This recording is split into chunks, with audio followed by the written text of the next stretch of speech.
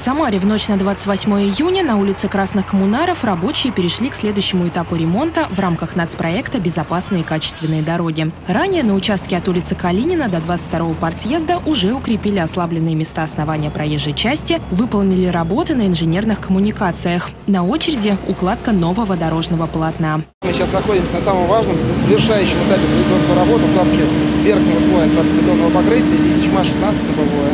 У нас сегодня работает два асфальтоукладочных комплекса, 7 э, катков, 3 бригады порядка 20 человек рабочих и механизаторов. За одну ночь рабочие уложили более 13 тысяч квадратных метров покрытия по основному ходу дороги. Цифры немалые. По словам специалистов, такой высокой производительности труда удалось добиться благодаря увеличенному количеству техники и персонала.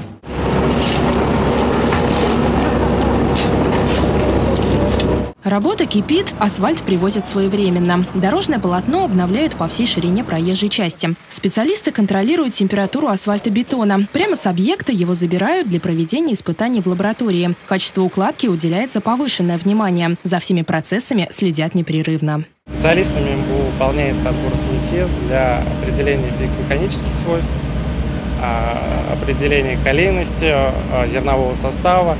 После этого в лаборатории выписывается а, заключение, на основании которого и принимается данная улица. После того, как э, уложится уже асфальтно-бетонная смесь, э, производится отбор проб э, керноотборником испытывается также в лаборатории. Эта дорога давно требовала обновления. Участок довольно узкий, всего две полосы. Горожане с радостью пошли навстречу сотрудникам. Оперативно убрали свои автомобили во дворы и на стоянке, чтобы не мешать ремонту. Диалог с местными жителями отлажен благодаря взаимодействию подрядчика с представителями власти, управляющим микрорайоном, общественниками. В микрорайоне проживают две с половиной тысячи жителей. Рядом с участком ремонта расположены Центр внешкольного образования, комбинированный детский сад и подростковый клуб. Ремонт дороги очень необходим жителям нашего микрорайона, так как а, спустя несколько лет дорожное покрытие пришло в негодность.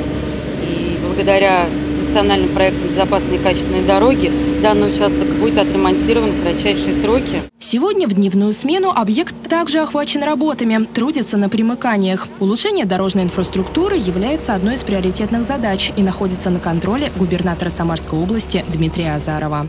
Ксения Баканова, Константин Головин, Игорь Казановский. События.